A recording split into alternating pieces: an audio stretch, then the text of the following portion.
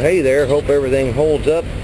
Horse looks like it's doing okay. Uh, lights flashing and all that happy stuff. So this is a crane counterweight, but it's so wide you can't lay it down either any direction. So it's on an angle just to kind of help it from tipping. I just got through scaling and my scale ticket says that I'm in good shape.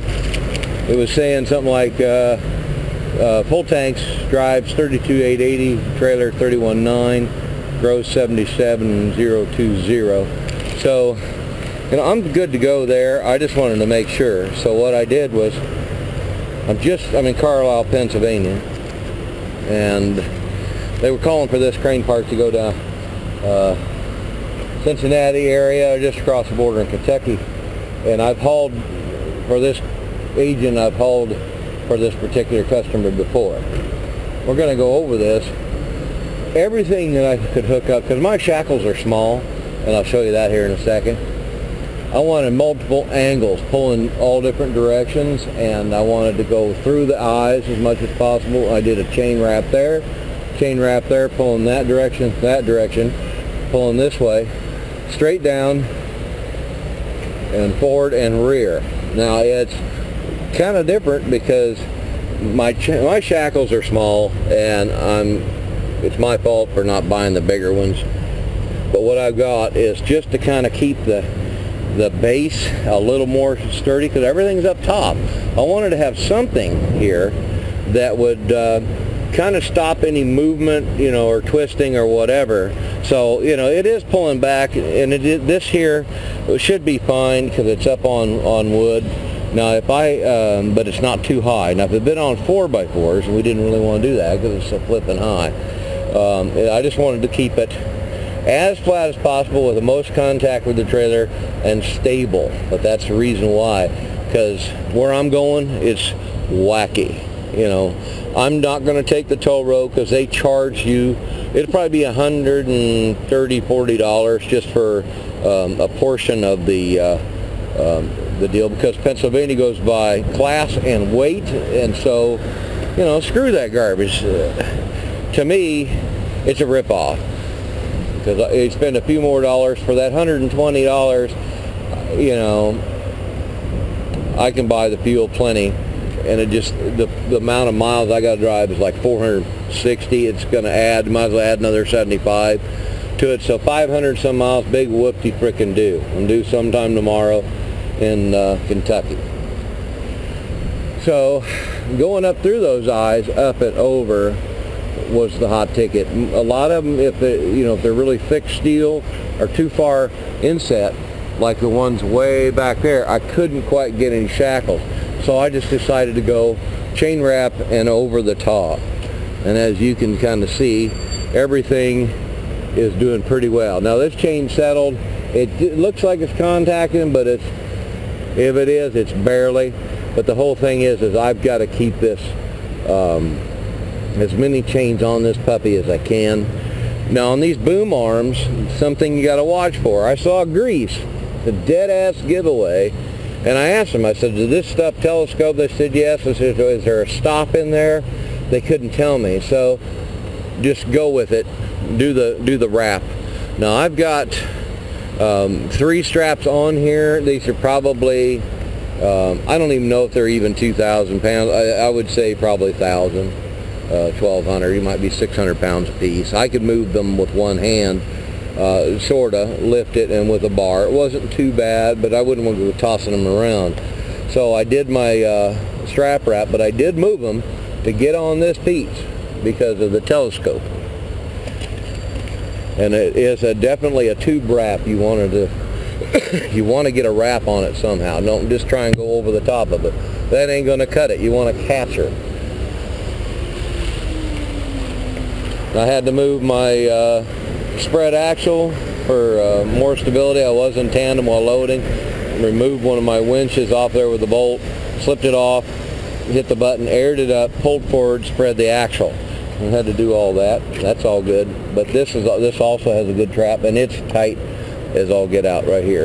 And it got off uh, offset a little bit, but it's not going to hurt anything. no one's going to say a word. And I went through and I checked all my chains. And you'll see this is common, this kind of chain grab like this. This is pretty common. So it should be good to go. Yeah, it's touching. I'll put some rubber in it. All the rest of them, what they do is they just settle. And no matter which direction I went, it was going to, uh, you know, I probably could have tried to come back here and I'd be all right. And I may do that. I may just come to a different location for that chain. And that's no big deal. But keeping something low like this, um, mostly it's for, to try and keep it from slipping. You know, I mean, the tops definitely grab, but if I can keep that base stable, then I won't have any issues. My weight is good. I guessed at, now look, look at the light. I told them take center uh, 20, 24 inches in front of the light. So I put my, uh, one of my tie downs on the, the floor so the uh, guys could see. I said, that's where I want the center of the piece. I said, I know where it goes. Now that was a pretty good guess on my part because I know how this uh, thing scales, this 51 foot. So as you can see, get it over here. One, two, maybe three hands. And that's about it. So that gives you guys an idea. And it's tough because when you get a trailer at first and you know it's a 48 you're going to learn that when it was a 53 flat or 53 step you would learn that this is a 51 so it's going to have uh, a different um, setup on the way it scales and the way you know because 40,000 pound piece because this piece is 40 I have I know where to set it and try to set it uh, forward of center and it'll get me you know now pretty close on weight. Now the drive axle was a, little, a little heavier, like seven, eight hundred pounds. But when you think about it, you know that's the axle that uh, loses weight because that's where your fuel tanks uh, mostly will be uh, dropping weight from. So as long as I'm legal there, and you know if I was up at 33.9, 80, I wouldn't care because it's going to drop weight as I drive. And this was perfect for length and uh, perfect for, you know, everything. I'm going to be going on some uh, some windy ass roads. Uh, you know, I'm going to do my best to try and take interstate all that I can, but it's going to be a lot of grades. As long as I'm legal, I don't care. It has to be uh, squared away. I got pretty filthy, guys. I mean, it's raining out here. You know, you get you you get pretty muddy messed up, but that's just the way it is.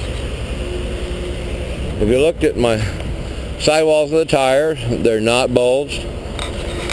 They're not bulged that bad here, even though I'm tipping downhill. That's going to set the weight slightly forward. But so you got to take that into account if you're just looking at your tires going, ah, that don't look right. it looks a little heavy. You'll get to know it after a while. It'll be able to tell you, okay, yeah, that, that tire's, that axle that set is bulged out quite a bit. I better scale out. When you get up in the upper ranges, this is supposed to be a 42,000 pound load.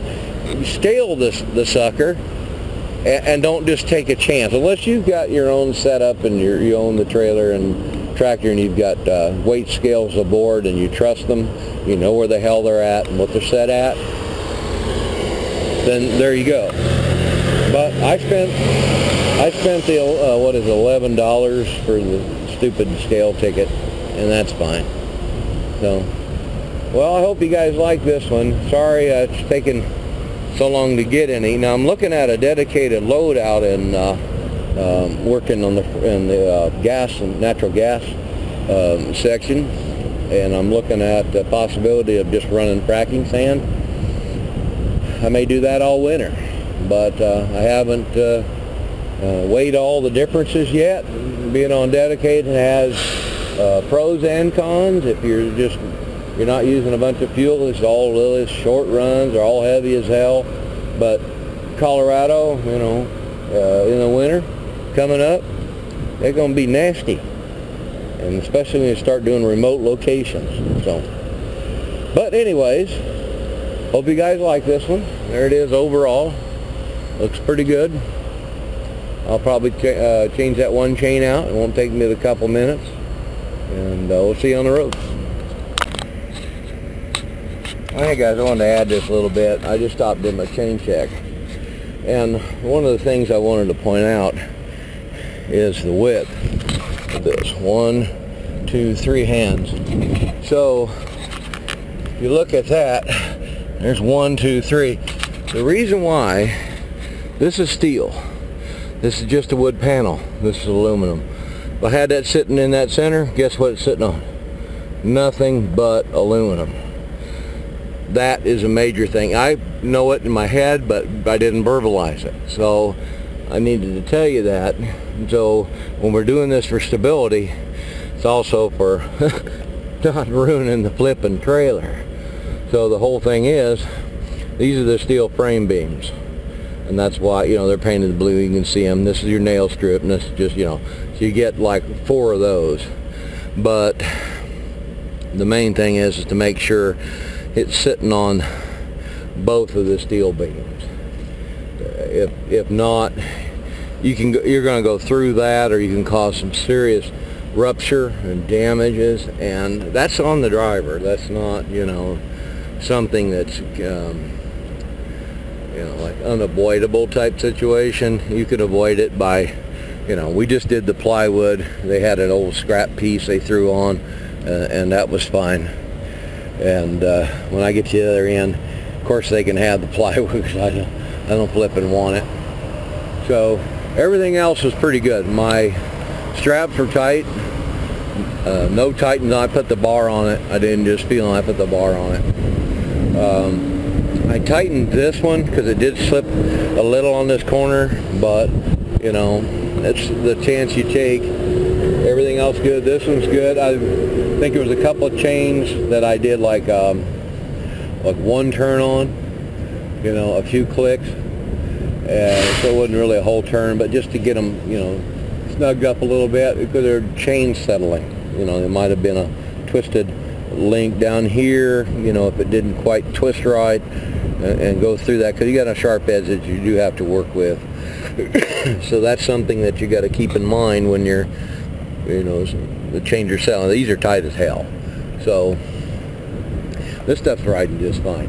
All I was worried about, you know, I'm going through uh, I-68 Maryland, Panhandle, and uh, West Virginia. So the reason why is probably, you know, the, I said in earlier, uh, toll money that they want to rip you off for on roads that were paid for decades ago. And I'm not playing that game. I'm not doing it. It's just nothing but a cash cow for somebody. So everything's riding good. It's doing fine. You know, you can hear the uh, trailer squeak and squawk a little bit, but you know that's not uh, not unusual. Everything's fine. I keep an eyeball on it. I watch my chain. I look for slack, look for bounce. You know, sometimes I'll open my window and I'll try and inspect it just to kind of see what's going on. I want to see if there looks like there's any movement in any chain. So that's it. And I should be done with that one, but I wanted to add that point so you guys understood. See you on the road.